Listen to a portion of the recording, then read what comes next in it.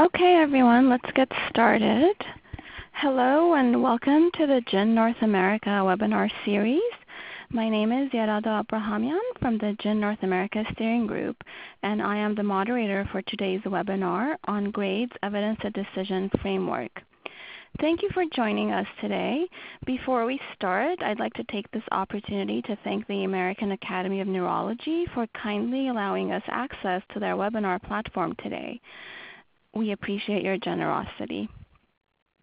In case we have participants who are new to the GIN North America webinar series, please allow me to go over a few brief slides to address who we are, what we do, and why it would be great for you or your organization to consider membership. So GIN stands for Guidelines International Network, and GIN is the largest guidelines network in the world that we know of. It was founded in 2002. Its mission is to lead, strengthen, and support collaboration in guideline development, adaptation, and implementation worldwide. In 2017, it had 103 organizational members, 156 individual members, and 47 countries, to, uh, countries represented. I am sure the number has grown since then, and we will report that at our next um, webinar. If you'd like more information on GIN, please visit the website at gin-i-n.net.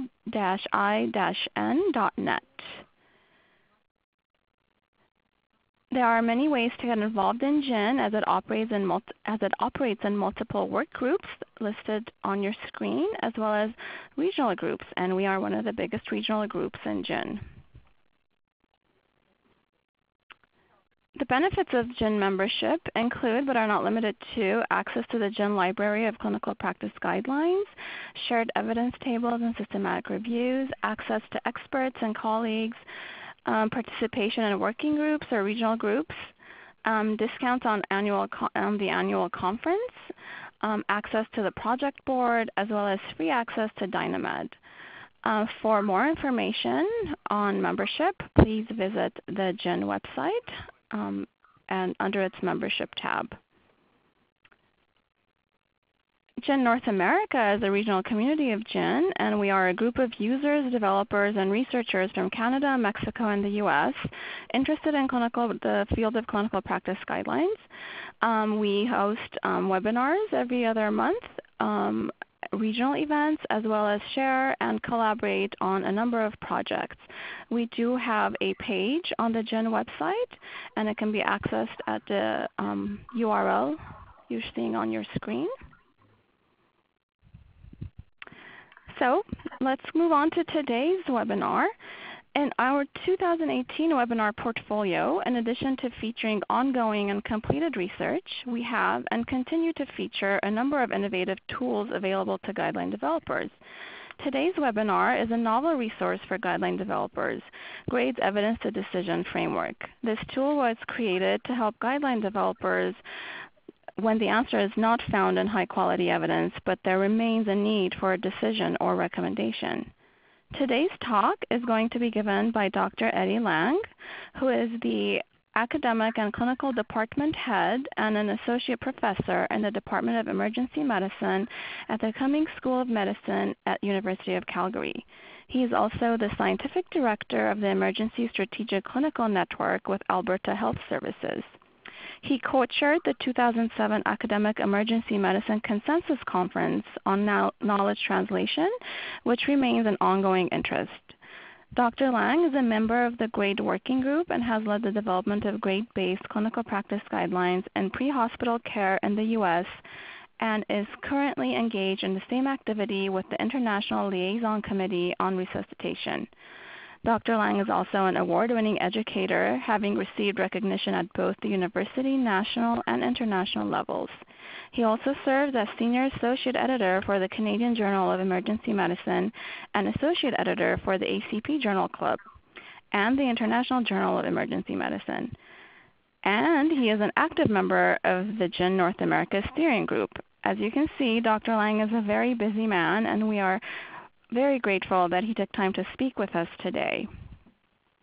In terms of ReadyTalk uh, webinar platform housekeeping, please note that all participants were muted upon entry to the meeting to ensure a smooth recording of the session. Please do not unmute yourself and please do not place us on hold. If necessary, please leave the meeting and dial back into the meeting. We have allotted 30 minutes for questions at the end of the presentation. Throughout the presentation, please submit your questions directly to the chairperson at the lower left of your screen. We will convey all your questions to Dr. Lang at the end of the session. The slides and recording of this webinar will be made available on the GIN website within a week. Also, please note that our next webinar is in two weeks on December 13th. Our speaker is Yvonne Flores, who will discuss the use of clinical practice guidelines beyond the clinical encounter, how CPGs impact policy and funding. This session will be moderated by our immediate past chair, Melissa Brouwers. So please remember to register for the webinar before December 13. If you don't have registration info, please email gin-na at at g-i.n.net. Okay, Eddie, I think we're ready for you. Oh, that's great. Uh, thank you so much, Urato. This is such a kind introduction, and uh, I am just so thrilled and happy to be here. I've been a big fan of these uh, webinars, and to be able to present one is a real privilege. Uh, just doing a quick audio check. Is are, is everybody able to hear me okay? And um... Yes, it's perfectly clear. Okay, great. Well, so thanks uh, for this opportunity to present on the evidence to decision framework, a topic uh, that's near and dear to my heart. Um, and uh, just wanted to mention, that, yeah, there is a dog in the in the story that uh, often comes around when uh, when the mailman or someone else visits the door, but that shouldn't be too much of a of a nuisance.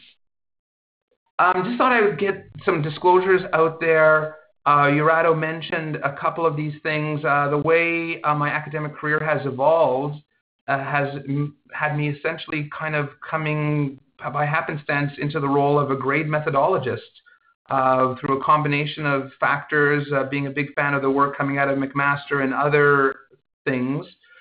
so as a result, I've had extraordinary privilege of working to support a number of guideline projects including the International Liaison Committee on Resuscitation, which you may recognize as making uh, CPR guidelines for resuscitation councils around the world, like the Heart and Stroke Foundation in Canada, the American Heart Association, and uh, groups in Europe and Eurasia and, and Oceania and in Asia. Um, done some stuff with uh, a vaccine uh, pain and fear group, uh, most recently, I've been uh, at the American Society of Hematology uh, working on a VTE diagnosis guideline, uh, which just got published a few days ago in Blood Advances. And uh, we like to think of as a great model for grade in the diagnosis uh, context. and have also been working with the sickle cell disease group and the and the pain panel um, and the WHO as well. Uh, I've had the privilege of working on a pediatric resuscitation uh, guideline for them with GRADE, and most of these have been volunteer, but some of them have involved uh, some consulting fees. Uh, one of the volunteer groups I'm with, um, I'm really excited about, is something called the Canadian Task Force for Preventive Healthcare. And this is, you may not be familiar with this, but it's basically the um, Canadian version of the uh, USPSTF, United States Preventative Service Task Force, um, where we uh, undertake systematic reviews. Uh, we do a lot of work with uh, patient uh, advisories and uh, qualitative work with patient panels to develop not only guidelines for primary care practitioners who are doing work around screening and prevention, uh, but also develop uh, shared decision-making tools to help uh, physicians and patients together arrive at some uh, best decisions in a joint manner, uh, especially when the when the when the, the research is often uh, challenging to interpret and the balance between benefits and harms is not always clear.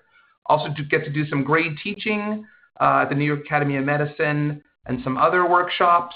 And if it's not already clear, I'm kind of big on grade and have been referred to as a grade as a grade geek by some of the people uh, who know me. but I think you, you should know that when I'm in my presentation, uh, I haven't really been, I have not been involved in the development of the creation of the evidence to decision framework. Uh, have not been part of that of those papers in particular. I'm really speaking to you from the perspective of a methodologist or a guideline a supporter who has been using the evidence to decision framework now for a few years and thought um, the feedback that I'm getting from the guideline panels is so unique and generally so positive that that might be a good thing to share with you uh, on this webinar. Uh, so let's get going then on the uh, meat of the presentation. First concept I want to kind of share is something that I've kind of observed over years and years of being involved in evidence-based medicine. And I guess I kind of think of this as a swinging pendulum and how, in a way, we started at one extreme that I'll make clear in a, in a couple of minutes, gone to another extreme, and maybe the evidence to decision framework represents something of a more balancing out of, of those two extremes. So this is what I mean. Um, are, are folks familiar with the um, well-known uh, methodological approach for guideline development known as the, the GOBSAT? GOBSAT, it's, there's not too much literature on it. Um, it's, it's, uh, I mean, maybe I'm giving something away by the, the age of the photo here, but um, this is one of the early iterations of how, at least it's perceived, uh, that guidelines were developed. And GOBSAT, in, stand, in fact, stands for Good Old Boys Sitting Around the Table. And uh, I think one of the reasons that uh, we saw the work from the Institute of Medicine, and one of the things that pushed uh, forward a more rigorous approach based on a systematic review uh, as, as the core and, and essence of, of a clinical practice guideline, as it should be and it should st- still should continue to be, is that we were trying to move away from this uh, opinion based expertise, uh, co- commonly biased and influenced by both intellectual and financial conflict of interest approach.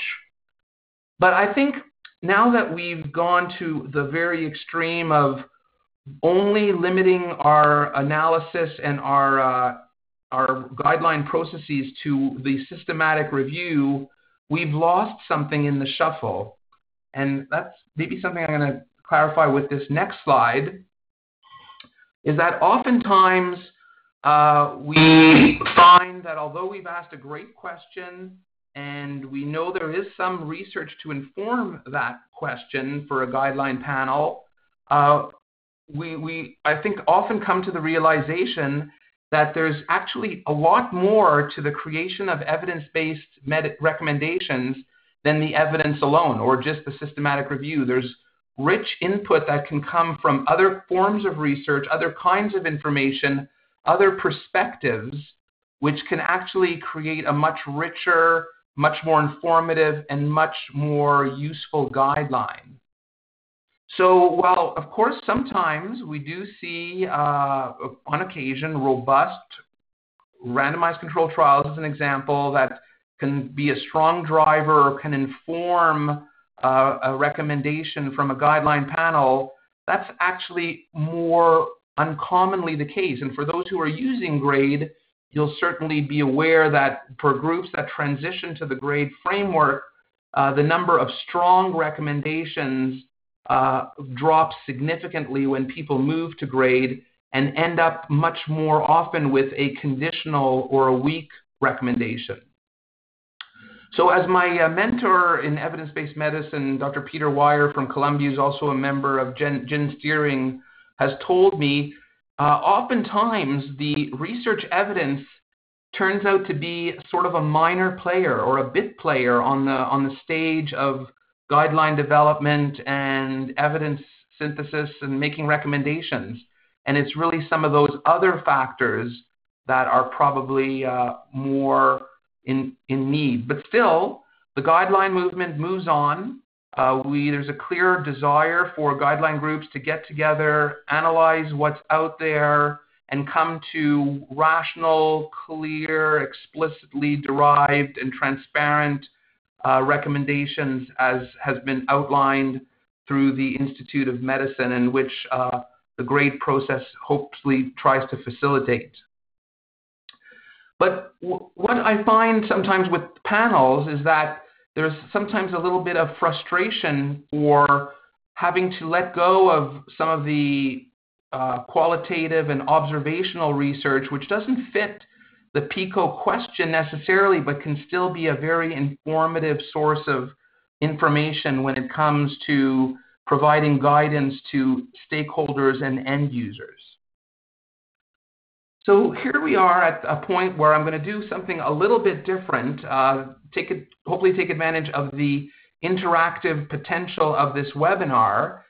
And if you could uh, have a look at this question, I want you to think a little bit, uh, and I've kind of danced around it without being explicit about it, but what do you think in 2018 a guideline panel should be thinking about um, that would inform the strength and the direction of a recommendation related to some aspect of uh, healthcare delivery or some kind of healthcare intervention.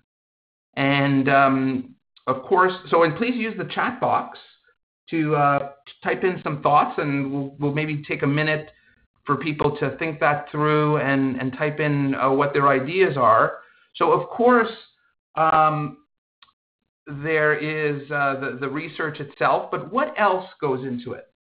All right. Well, thanks. Uh, great from Daniel and, and Helen. Thank you. Uh, an overall of patient values comes up. Uh, a consideration of, um, of benefits and harms. Wonderful. Uh, there's registry data. Um, how the, the public would view um, these interventions. Wow, fantastic stuff. Yes, capturing patient values and preferences and, and how this plays out in the real world using real world evidence, which can often uh, inform the, uh, the practicality of, of an intervention and the feasibility of it as well as the acceptability. That's amazing. Great stuff. Um, someone talked here about the Danette's talking about the burden of treatment and adherence to patient values. Yes, anyone following Dr. Victor Montori and the patient revolution is certainly going to be uh, careful about uh, thinking about those things, which unfortunately are not often captured in the seminal randomized controlled trials that address a given intervention. Um, in fact, in general, the harms of an intervention are generally uh, not often as well captured as the benefits uh, from much research. Uh, safety issues, and I'm glad a couple of people have pointed out here to cost. Uh, we can no longer be cost agnostic or, or, or, or ignorant or head in the sand when it comes to a consideration of the resource implications uh, of what we're recommending. We can't make these recommendations in a vacuum uh, because those will, of course, have significant implications on both a low, moderate, or a high resource setting. So great stuff.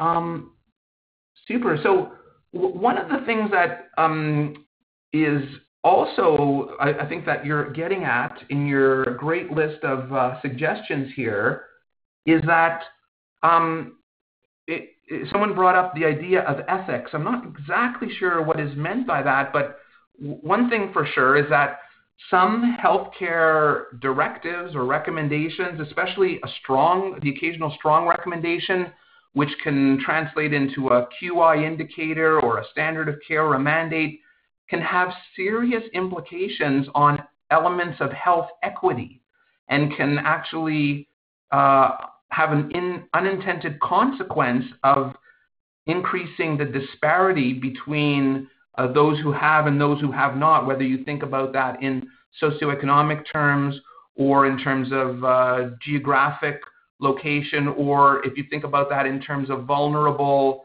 uh, socially marginalized populations. So you guys have just hit it out of the park when it comes to this brainstorming around what else should inform a recommendation. And it's a great segue for me to talk now about how the evidence to decision framework tries to capture both research evidence that may not be directly related to the guideline question, but is certainly relevant, as well as panel perspectives, insight, and expertise to reach a much richer and well rationalized and justified recommendation. So, in the evidence to decision framework, these are the key questions that a panel is asked to address.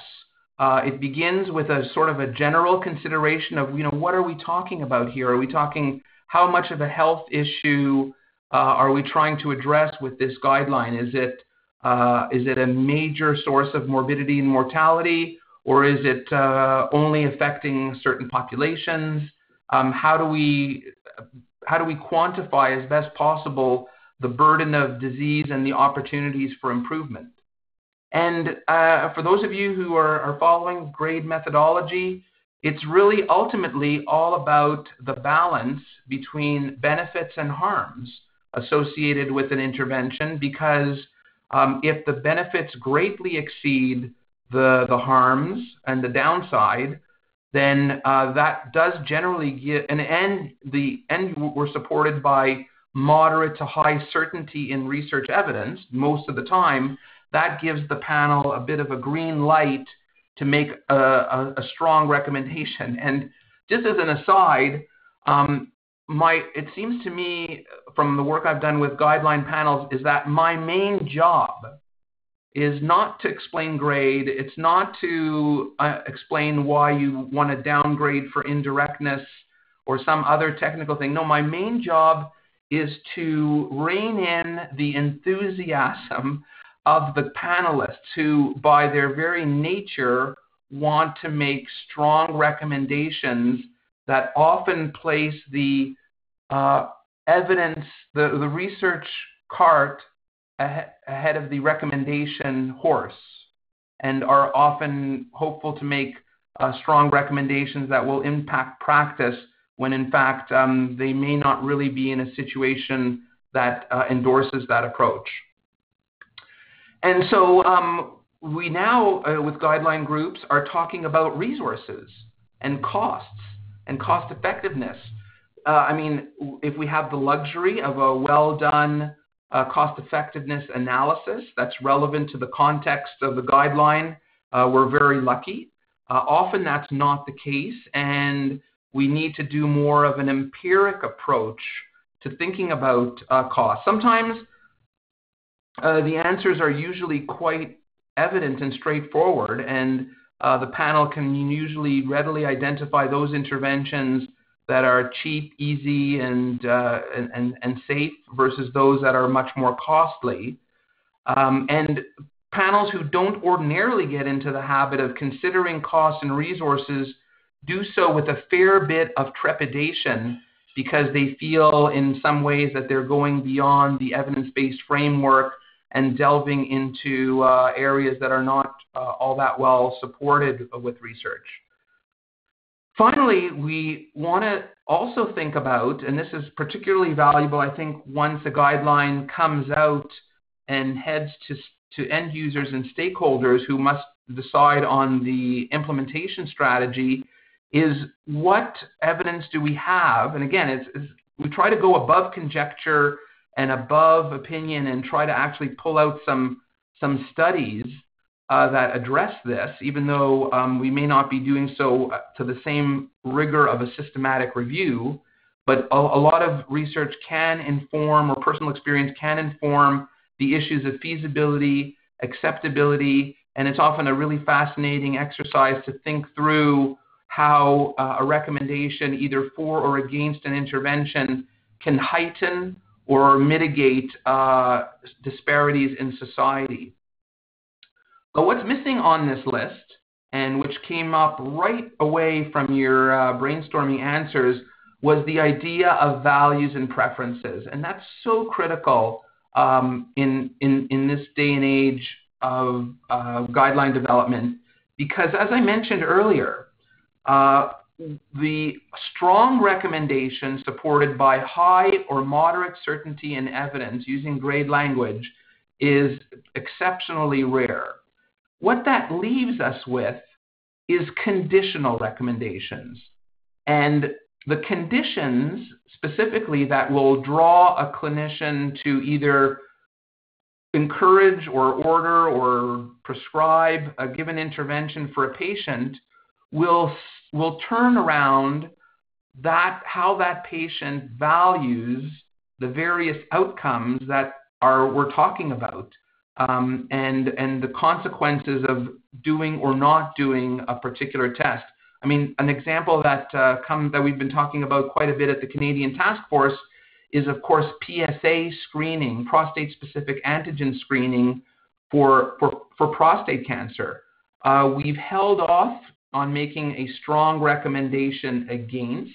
It's a conditional recommendation against, and we're opening the door to a shared decision-making approach uh, you, in creating 1,000 figure pictures showing a, a, a, man in the age range of PSA testing, uh, what their likelihood of uh, benefiting from prostate screening is, their reduced risk of uh, prostate cancer death, which is quite tiny, their overall mortality benefit, which is essentially zero, and their um, risk of incontinence and infection and um, erectile dysfunction, as well as the likelihood of being overdiagnosed, i.e., having a uh, cancer identified that would have never caused them any concern and had, would have remained asymptomatic for their entire lifespan. So once you uh, have a better sense of values and preferences, you're in a much better position to operationalize a conditional or weak recommendation either for or against, and those are now increasingly common. Um, and I'll show you a bit more about that uh, in a little bit.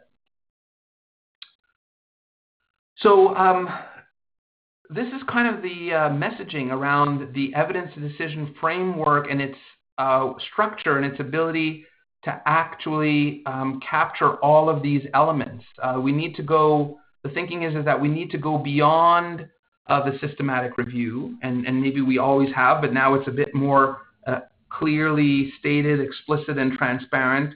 We need to consider the comprehensive balance between uh, benefits and harms. Uh, I, I, would add that one of the advantages of the evidence decision framework, and I'll demonstrate this when I show you uh, how the tool works within the GradePro software.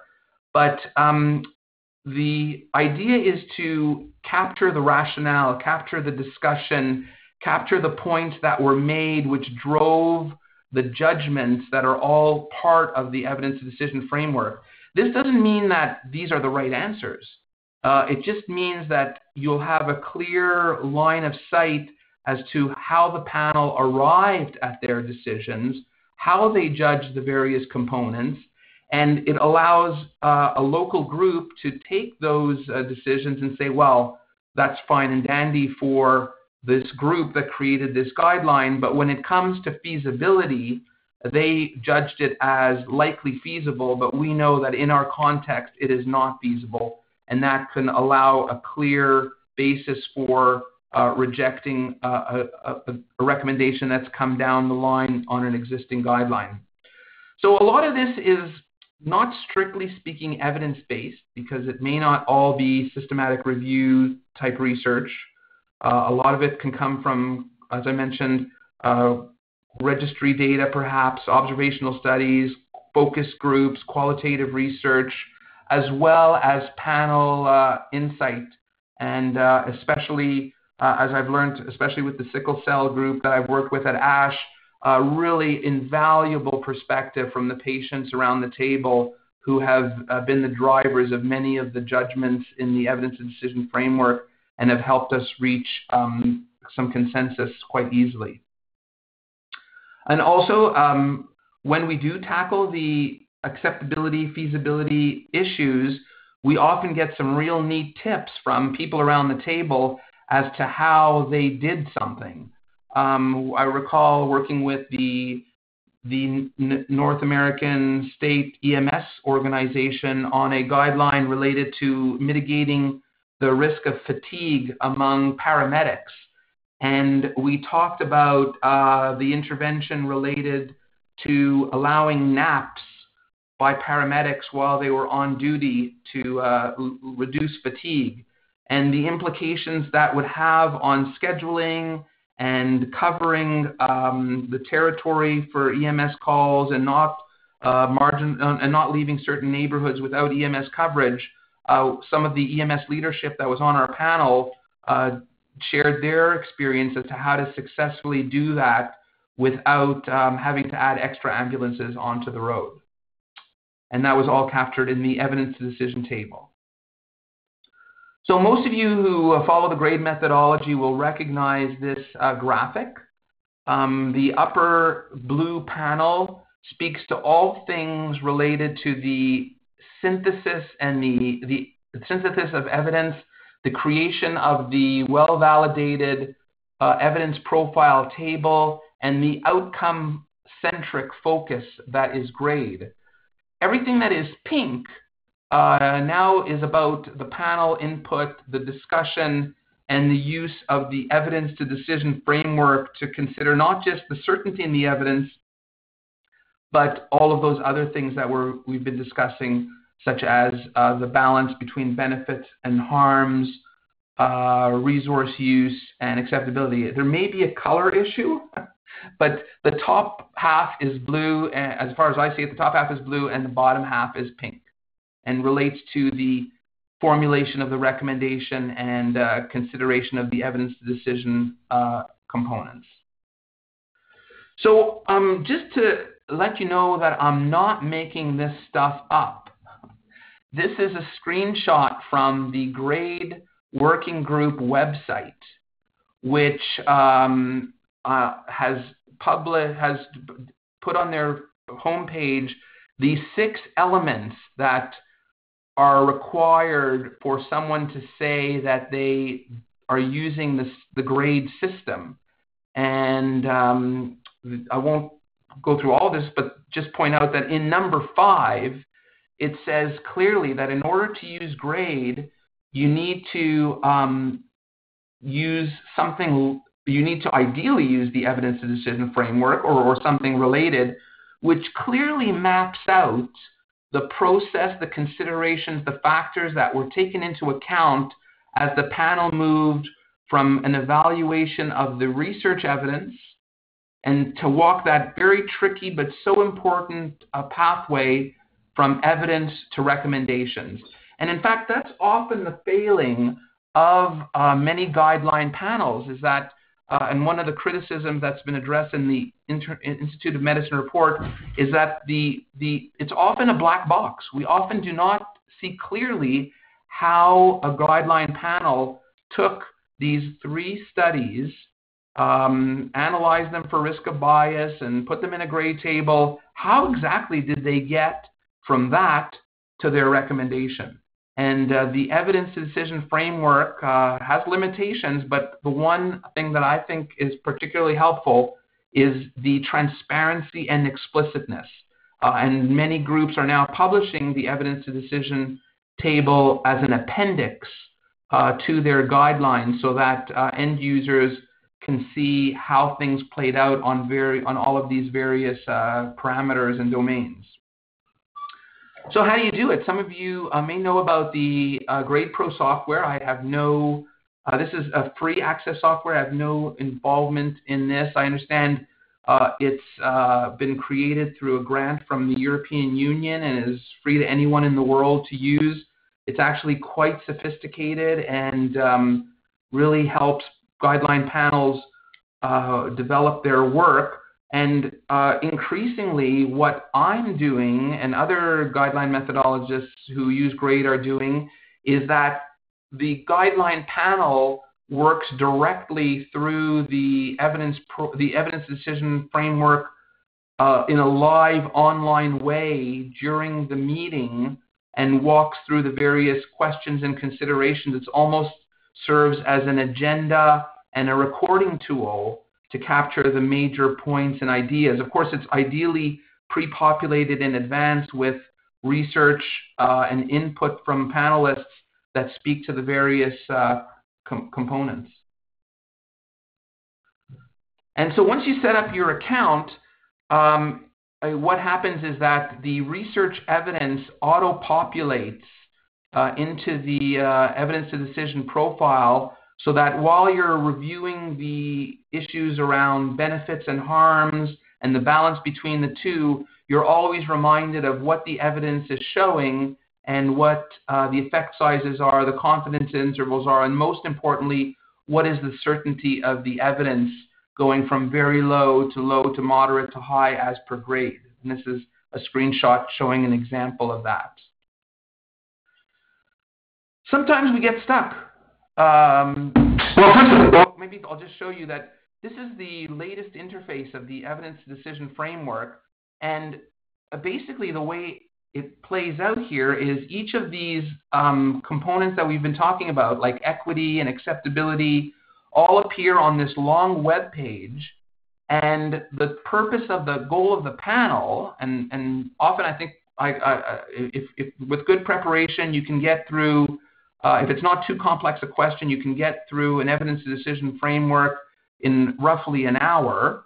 But uh, for example, here's the equity question.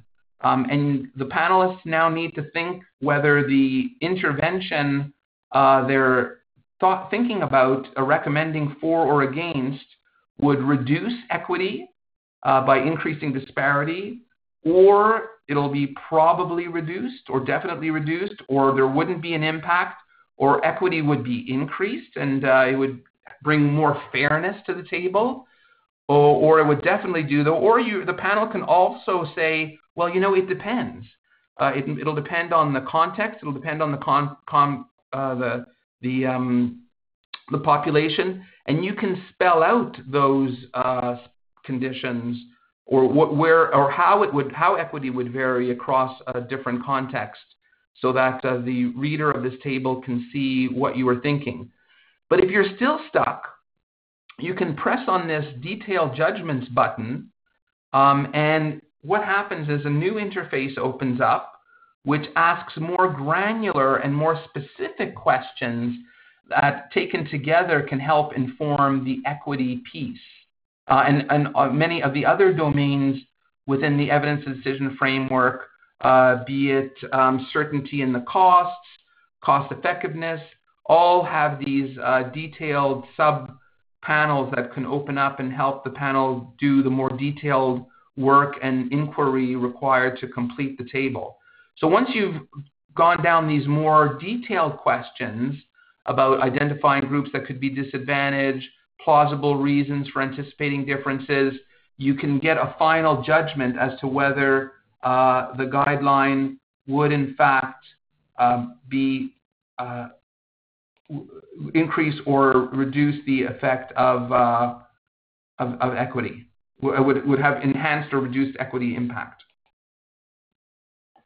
Okay, I think I've got to put that back. And so once you've walked through all of these dimensions uh, in the evidence decision framework, um, everything gets kind of collated into this summary of judgment table, which um, my experience has been that the uh, panel likes to look at for uh, quite a while and likes to debate and talk about. And oftentimes we change our judgments as we look through this. And it gives you a kind of a global picture of how the panel has weighed in on the size of the extent, the, the degree of desirable and undesirable effects in sort of qualitative terms, certainty of the evidence, values, the balance between the two, cost considerations, equity, I couldn't fit it on the screen, but uh, feasibility and acceptability are, are just down a little bit further. And then taken all together, uh, I, I'm finding that the panels are now quite comfortable looking at all of these things together, integrated with the evidence from the systematic review to come to usually a quite a readily a consensus on whether they should be recommending in favor of or against and whether that is a strong or a conditional uh, recommendation. Lots of cool uh, research and papers coming out on uh, the evidence of decision framework. This is, I think, one of the first one from last year, uh, talking, introducing the concept and and bringing through the idea of grade adolopment. which uh, speaks to the concept of how a local group, even perhaps at the level of a clinic or a hospital, can take the work of an existing uh, systematic review team or an existing guideline panel and use the evidence to decision framework to adopt uh, a given body of evidence to their circumstances, walking all through all of those evidence to decision criteria, or to do it de novo if they have those resources. And, and this is just, again, a reminder and a reiteration of what are the key elements that you would still be considering in an adolopment type uh, process.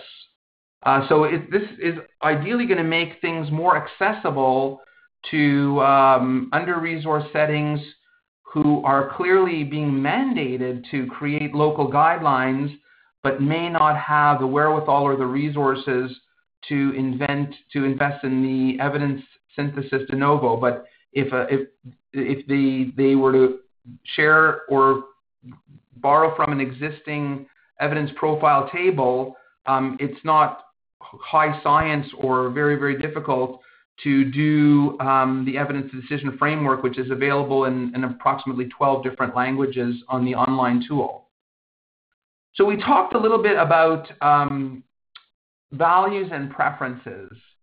Uh, and uh, sorry about the black background here, but this is a, an, an, an, emerging body of kind of literature which um, undertakes a systematic review of the evidence around values and preferences, drawing from qualitative research, survey studies, whatever they could find uh, that helps identify patient subgroups and, and their perspective on the risks and benefits of an intervention. Here we talk about screening, PSA screening for prostate cancer again. So, um, I mean, if, if you are lucky enough to be working on a guideline where there happens to be a systematic review on values and preferences related to the topic, well, your money. Uh, and you can plop that into your evidence to decision framework. Uh, I think, as uh, maybe I don't know if I noticed, pointed this out as well, but w- the way the cells are structured is you're encouraged to put research evidence primarily into this box right here. Uh, so this is where you would put the, uh, the systematic review on values and preferences and summarize it and reference it. And here in additional consist- considerations, I think this is really where you capture the wisdom of your panelists and the perspectives and their insight, uh, be they the patients or um, the, um, the other kinds of people that you felt are necessary to create a multi-stakeholder panel. This is also, by the way, where you would capture dissenting views.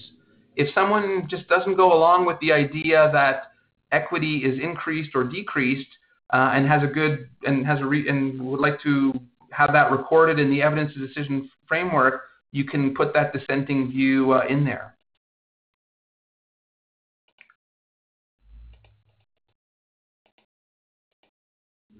So uh, I'm going to call it uh, to an end quite shortly because I hope there's lots of questions and discussion. I'd love to hear from folks on the call who have used the uh, evidence decision framework and want to share their concerns or ideas or, or tips on how to use it better.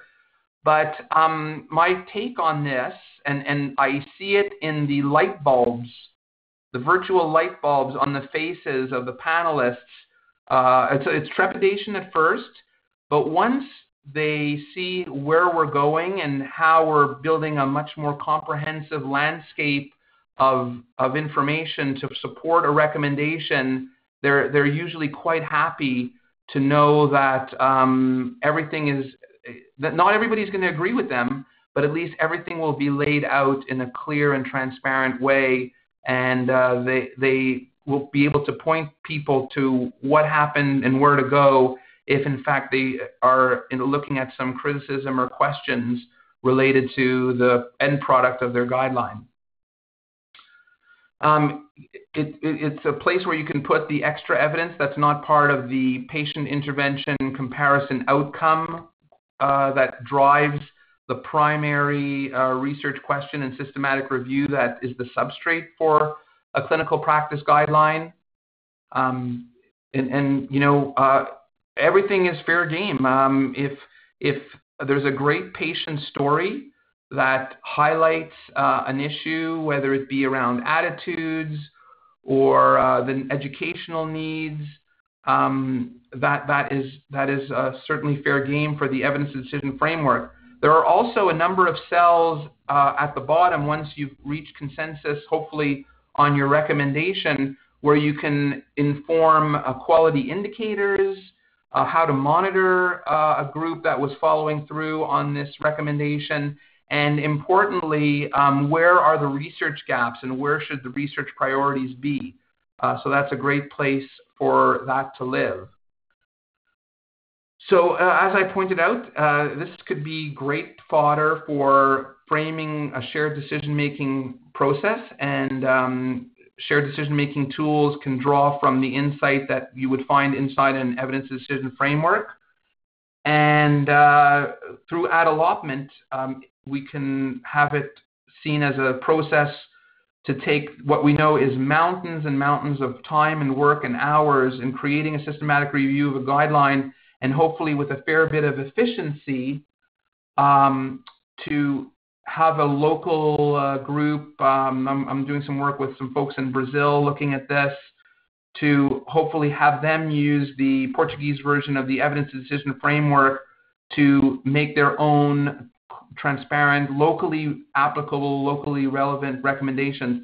And, and you know, the, I mean, the, the, it is great to see these systematic reviews of values and preferences, but at the end of the day, what matters is the patient in front of you, perhaps more than uh, than what the global evidence on uh, three focus group studies and um, other kinds of qualitative work can inform. So, um, thank you so much for, for your attention, and and I'm um, happy to help clarify anything or uh, start handling questions. I see the first one there from Laura. Uh, and uh, I, I, uh, I think that's, um, that, that, that's going to be it for now. Uh, Urato, do you want me to start moving in uh, sure. on that? I have a question as well, so let's start with Laura's and give people a chance to submit questions on the lower left of their screen as you're seeing one uh, from, I don't know if everyone's seeing one from Laura, but um, it's just type in your question and Eddie will have access to it. Thank you. Go ahead, Eddie. Oh, did you have a question for me, Urato?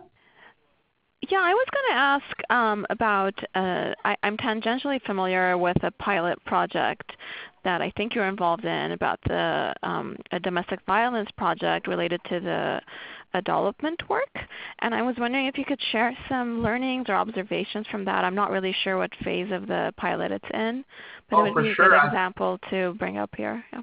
Ah, that's great. Uh, thank you so much for asking. Um, so in Alberta, uh, we have uh, run into a bit of a conundrum around screening for intimate partner violence in the emergency department. So we have a couple of opposing tensions and forces going on. We have uh, a government mandate essentially saying that we should screen in the emergency department for intimate partner violence. Uh, that's coming from advocacy groups and uh, harm reduction and a number of the government agencies that address this uh, because we know that uh, patients who come to the emergency department are at risk for intimate partner violence. On the flip side, we have emergency departments who are not are, are only about 20% compliant with that mandate and who feel that it's often difficult to do, it's out of scope for emergency care, and uh, the resource required are quite significant, and there's often not a way to um, to, uh, to to refer these patients on, even if you do identify that they're at risk for intimate partner violence. So um, to to solve this, uh, we got together and used uh, grade adolopment to try to sort things out. And I, I, I think it's neat how this played out uh, because what we had was actually a number of systematic reviews. We had uh, guidelines from the WHO, from the CDC, from the USPSTF, um, all coming to fairly similar conclusions. That is, that screening for intimate partner violence in the emergency department certainly identifies people who are at risk. But there is no evidence yet, or there's no high certainty evidence, that this identification will um, lead to better outcomes or lead to uh, safer outcomes for patients or better clinical outcomes or fewer uh, incidents that uh, or, or safer a safer trajectory for patients. So that was the, the nature of, in a nutshell, what the evidence was saying. And most of these guidelines actually came in and said that, you know, it's hard to know how they actually got here. Maybe they should have used the evidence decision framework, but they, they often recommended um, screening for intimate partner violence only among women of childbearing age. And, and presumably that's because uh, that's a well-known high-risk group. So we used GRADE adolopment to uh, work through that. We had a huge meeting, a fairly good-sized meeting with about 40 representatives, patient stake, patient representatives, um, uh, ministerial people, physicians, nurses, uh, the, the, uh, the, advocacy groups, everybody was in the room, and we distributed the evidence profile tables in advance, uh, presented what we were going to be doing with the evidence to decision framework, and thought we would hopefully get together and reach a consensus. And the good news is that we did. We did. We even even the emerge folks who were skeptical about the benefits uh, felt that um, all told, the benefits of screening uh, outweighed the risk because there was no harm signal. That's very important. And we chose in, in a complete 100% consensus to suggest that's code word for weak recommendation to suggest in favor of universal screening. So, not just high risk patients uh, like childbearing age women, but all uh, adults should be screened for intimate partner violence. And that's despite the fact that we know that um, it's not always easy to do um, and that our current um, rate of adherence is quite limited. But we learned a great deal from some of the representatives at the meeting as to how they do it and how they achieve higher rates of, uh, of adherence and how they've organized their emergency departments to make sure that someone is available to follow up with someone who screens positive. So um, I hope that's okay, uh, Urato, but that's kind of a, a, an example that I've lived recently of how uh, the evidence to decision framework and a GRADE adolopment helped us in Alberta reach a consensus and a common direction uh, going forward on a, on a very tricky issue. Thank you, Eddie. That was a great real world example. So we're getting a, a number of questions. Um, would you like to read them directly or would you like me to present them to you? Sure. So I'll start with Laura's question. She wants to know um, could the ETD be used in developing checklists as guideline implementation tools? Um, I would say for sure that's a great suggestion. Uh, what I would do, I mean, uh, maybe I'm not thinking about this the right way, but uh, for example, um, you know, there are groups uh, like the uh, Registered Nurses of Ontario, Cancer Care Ontario, and other groups that have created some really sophisticated uh, guideline implementation tools that speak to, you know, the importance of identifying champions, setting the burning platform, uh, bringing together the right stakeholders, using the evidence to decision. No, sorry, no, what am I talking about? The not the evidence decision framework, but the uh, knowledge to action cycle. That's a Canadian product that helps a guideline implementation. And uh, I, I, think it would be brilliant in the, and thank you for suggesting this, I think I'm going to do it in the future. When you get to the um, implementation considerations, which is one of the boxes in the evidence decision framework, go to town.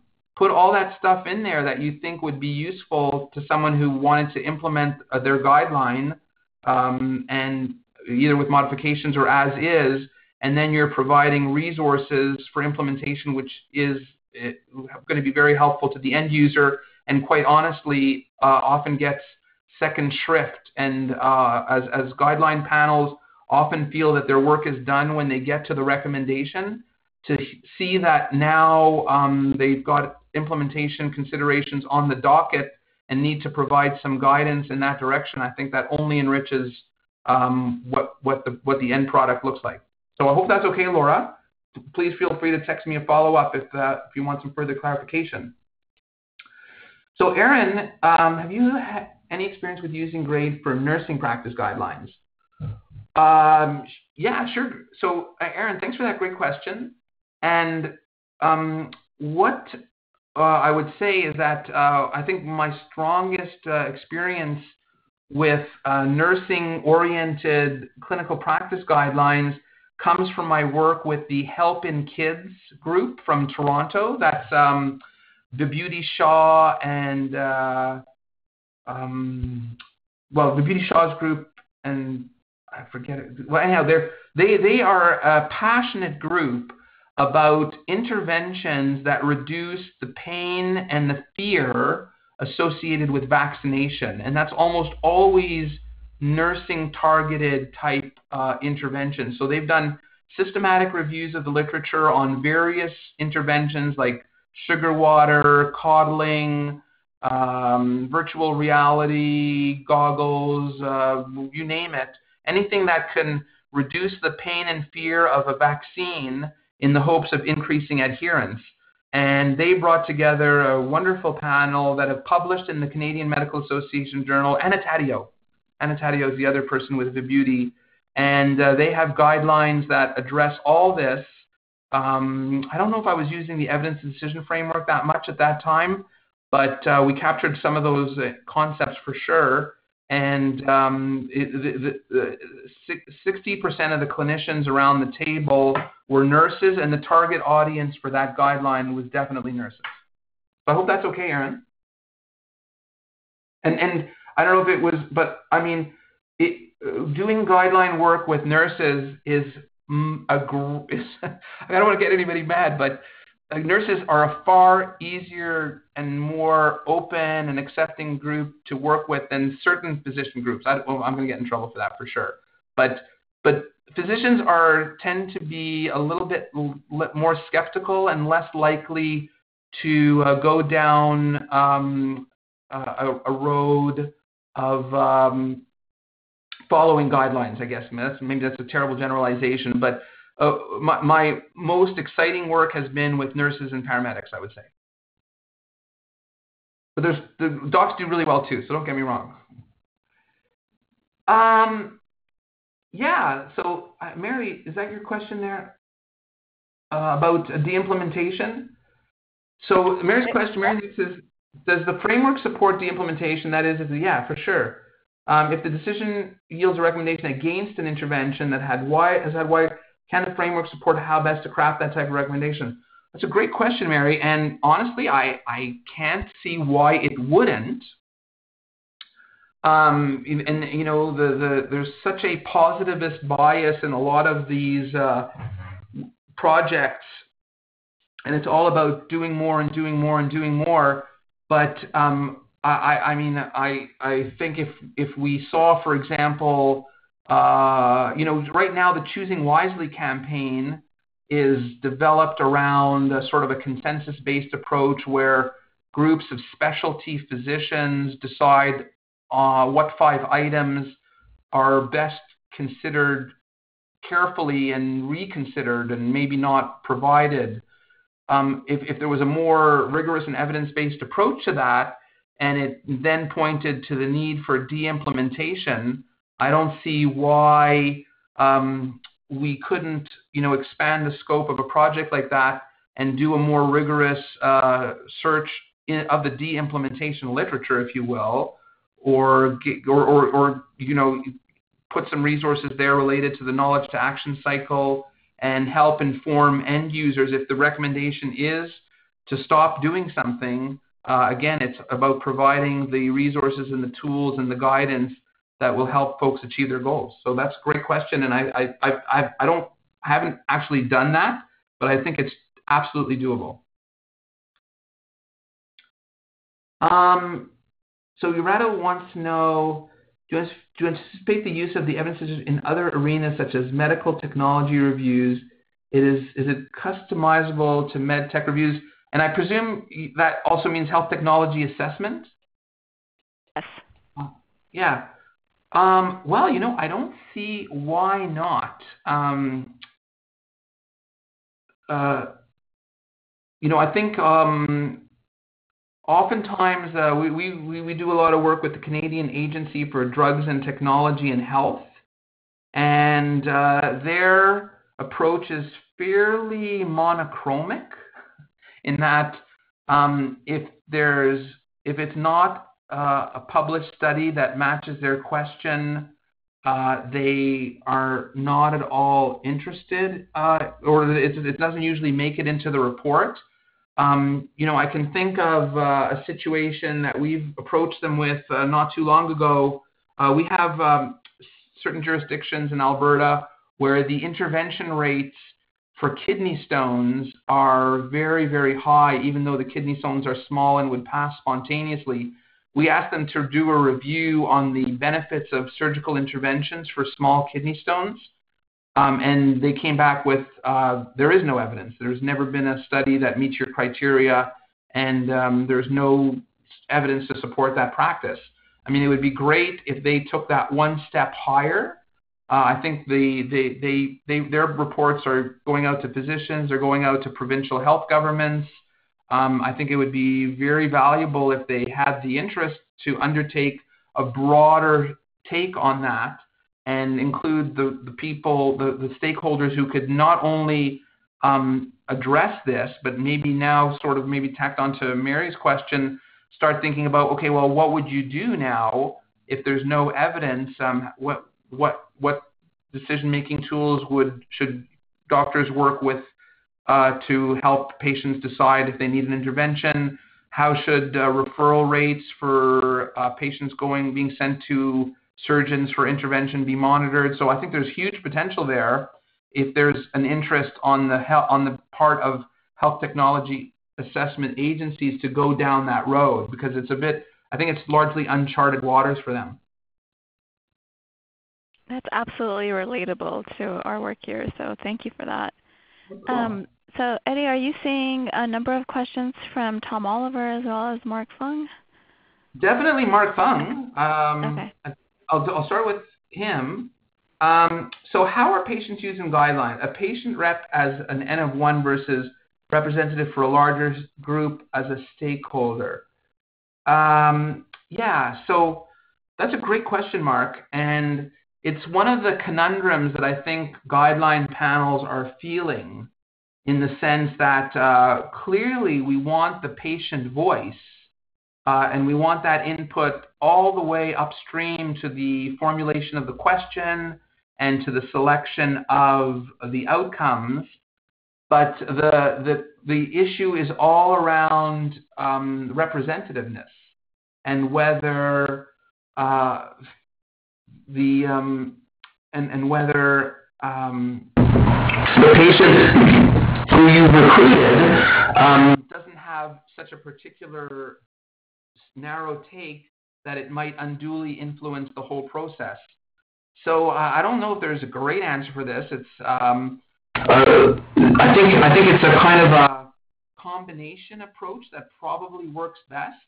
Uh, I'm convinced that it's super valuable to have a patient there, but um, I think the patient also needs to be carefully selected, and it also needs to be made clear that there will be a pursuit of other sources of patient perspective, uh, presumably from qualitative research, that will inform the discussion and that will complement or, or provide synergy to the patient's voice and not simply um, uh, and not simply in uh, and to, have it be that one person or two or three people dominating the discussion. So that's a great great question, and I don't think we're there yet but uh, we have some we have some ideas on where to take that. Um, uh, so Tom, I do see your question here. Uh, what are the successful strategies for introducing grade to organizations or guideline panels that have not experienced the methodology before? Uh, that's a good question. um, you know, uh, I mean, you know, conflict of interest alert. I mean, I do teach grade workshops, and this answer might be construed as uh, benefiting that, but my, the experience I've had is that when I meet someone from, uh, you know, whatever it be, the uh, the American Academy of this or the organization of this, they they often there's often like some vibe in the media or in the literature and and there's some there's a there's often a feeling in these guideline organizations uh, or or healthcare organizations hey what's up what's all with what's with this grade stuff? And how come everybody seems to be using it? And like what's going on here? Are we missing a boat? And uh, if that discussion reaches a thir- certain threshold they'll usually send one or two people from the organization, especially those that are um, in charge of the guideline portfolio or the or the or the order set development portfolio or the uh, or the uh, practice monitoring portfolio to uh, a grade workshop somewhere to see if um, this is a good fit for them. And um, it's not always a great fit, but but what, often occurs is that um, when the people that I've many of the people I've met that have come to the workshop say, "Oh, so uh, this is," they often come away with, "Oh, these you've identified all of the things that are giving me grief and that I'm having trouble with in my organization." And it would appear that using the grade approach could certainly address some of that. So once you get uh, one or two people uh, familiar with grade, understand the benefits and what's driving the momentum behind it, um, it usually uh, is a good way of planting a seed and moving things forward, has, has been my observation. I hope that's okay. Um, so I could go, oh, so Tom, I can go back to, okay, so Laura, Laura's got a question on the acceptability to primary care who may need to use the checklist but do not use it now. So yeah, that's a great that's a great question. And um, checklists are uh, you know uh, in some ways um, a, a, great advance and uh, help standardize care. I presume you mean like a, a, an implementation checklist or something that you need to tick off if you're going to uh, go ahead with a particular uh, treatment strategy, make sure that you've covered all the bases. So, um, I mean, I think the best way to do this would be just to have uh, upstream buy-in. So if, if you are in a hospital and you're looking at uh, a grade exercise and an, an, an, an adolopment perhaps around um, a, a, series of screening tests for patients coming into primary care and, and planning to develop that as a checklist tool. Uh, I guess if you if you had the buy-in of the physician group uh, well ahead of times, and and they may have some things that they would want addressed. So ease of administration, maybe some of the human factor engineer to make it simple to complete or maybe some auto population from the uh, electronic health record.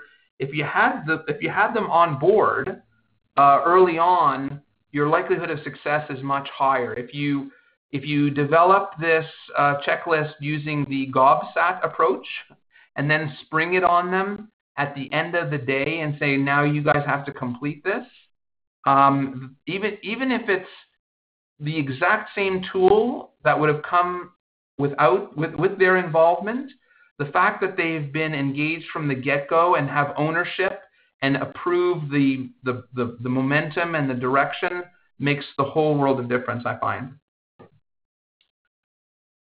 I hope that's okay, Laura. Please feel free to send me a follow-up thought if, if you have one. Uh, so rapid guideline development. Yeah, Tom, you know, I, I have not. The answer is no. Um, so you're talking about rapid reviews and some of the work out of uh, Ottawa and David Moher. Um, you know, um, I, I, I have not had that experience, but I can't imagine that uh, it wouldn't apply. Because at the end of the day, although from what I understand from rapid reviews, there are some um, I would I, I, hate to use the word shortcut, but there are some some efficiencies taken from, uh, especially I think on the search side and perhaps the evidence evaluation side. At the end of the day, you end up with a body of evidence, meta-analyzed or not, comprehensive or not, that is going to be the substrate for your trajectory from evidence to recommendation. So I think there's always going to be that caveat that um, it may not have uh, gone through the rigor of a truly fully systematic review, but we know full well that in times of crisis, uh, you know, whether it be epidemics or or Ebola or or poisonings, we don't have the luxury of uh, the the drawn out uh, six month uh, systematic review process. So I think it's certainly a, a test case that is worth uh, drawing upon, and if and uh, if it were done, I think it'd be a great addition to the to the literature to know if that was possible. Um, great. How does grade take into account an, uh, the public comment? So great point, Mark. Uh, as you know, many groups are now mandated to post various aspects of their guideline development online for public comment. I know uh, in my work with the American Heart Association and the International Liaison Committee on Resuscitation, uh, as well as the American Society for Hematology, there's mandatory public posting, and there's some really interesting feedback that comes there. Honestly, I don't think grade considers that within scope. Grade is really more about um, evidence synthesis, prioritizing outcomes, uh, clear, clearly and explicitly evaluating and uh, summarizing the body of evidence across outcomes and helping panels get to a recommendation. But now that you raise it, um, I think it would be a perfectly reasonable thing to, uh, you know, when, when the panel meets and goes through the evidence to decision framework, if there are components of the public comment that fit into feasibility, equity, whatever the dimension of the um, evidence decision framework is, I think it'd be beautiful to put that in there because honestly, w- one of the challenges we have um, is okay, what do we do with this? what do we do with this input? Uh, it, it, doesn't it doesn't really have a home outside of the web page where people type in their thoughts. So maybe this could be a new home um, if the comments align with a very uh, with a particular component of the evidence to decision framework. And uh, so that's great. And Laura, great, great. To, yes, the RNAO. That's the uh, the Nurses of Ontario, I believe. Um, do I know anyone who is doing this already? We collaborate with to develop a clear, simple PAD checklist. PAD diagnosis. Is that peripheral artery disease? Uh, okay, well, no, I don't. Uh, you know, when I, I think um, we, we, we well, I've been to some knowledge translation, knowledge to action workshops that uh, have focused on this and used the RNAO toolbox, uh, the knowledge to action model uh, based on uh, Ian Graham's work, uh, but have not seen anyone kind of go in the direction of checklists on this. But um, I do know some folks who might uh, be involved in this, and um, I'm happy to connect offline and see if we can uh, make some connections that uh, would enhance your collaboration. And um, so Jessica wants to know if there's a uh, if for groups that, that don't don't have the resources to do full grade, is there a modified version available? Well, you know what? Um, so there's a common perception that grade is a uh, complex, hard to get your head around, um, difficult uh, approach. But you know, uh, the philosophy of grade has been very much to keep it simple and to keep it acceptable. I mean, you know, remember we've come from an era where uh, many guideline frameworks offer eight or nine different categories of recommendation, right? You've seen those. This is a 2B3. I mean, it's it's hieroglyphics. It's it's hard to even understand what the recommendation is saying. And grade is really simplified things. It's either you're for it or you're against it. It's either weak or it's strong. And there's only four buckets to put your evidence in as, as far as each outcome is concerned. Um, so that is uh, that is uh, low, very low, moderate, or, or high certainty. So what I would say, Jessica, is um, uh, I mean, the real difficulty is not the grade, the complexity of grade, it's the systematic review. And if you go back to the website that I showed you, which is the minimal criteria for using grade, they, although they state a preference to do a full systematic review, it is not mandatory to use to do a full systematic review and call yourself grade. If you do a reasonable, structured, and reproducible search, um, whatever that is, with some uh, librarian input, and you identify four or five studies that meet your criteria, you don't have to do anything fancy with them. You can even use the grade evidence profile tables to create more, a, more of a narrative summary of what those studies showed. You can actually, uh, I think grade could be quite accessible to you. So um, you know, happy to chat with you offline, but uh, it, it, I would say that especially if there may already be a published systematic review on your topic, you could get your head around grade in a very short period of time. So I hope that's okay. And how do you recommend guideline development groups address lack of consensus on how to interpret content even the recommendation wording? Well, that's a great question, Melanie. Thank you for passing that along. Um, so uh, what we do uh, is we, we generally um, adhere to the, the, the, general rule of thumb as it relates to uh, guideline recommendations with grade. And if, if I've still got this right, uh, you need 70% of the panel, if, if you're going to even put it to vote, because uh, it's, it's, you know, I, would say it's way less than 5% of the time that you need to take things to a vote because you've reached a, uh, an impasse. But you need 70% for a strong recommendation for or against a pass, or a simple majority for a, for a, for a 50% uh, for, for a weak recommendation. And you know, uh, my experience has been is, of course, yeah, people have different views as you walk through the evidence to decision framework. And that's the beauty of the button called varies. So almost all of these evidence decision domain components have the word varies there as a choice. And, and then let's say if you took, talk about uh, cost effectiveness, you may have some people on your panel who will say, no, there's no way this is cost effective uh, and make their argument, and or at least not cost effective in my particular situation or with the with what I have to deal with in terms of my system, my cost.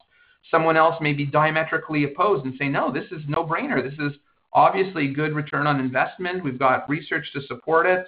Uh, this is definitely cost effective. So that's when you would choose the varies button um, and capture that discordance, capture that dissent, so say that it could that the cost effectiveness is likely context specific, and even if you have that disagreement, um, I find that you still get consensus on the final recommendation because it's rarely a game changer. It's rarely going to take you from a, a, a, conditional in favor to a, a conditional against.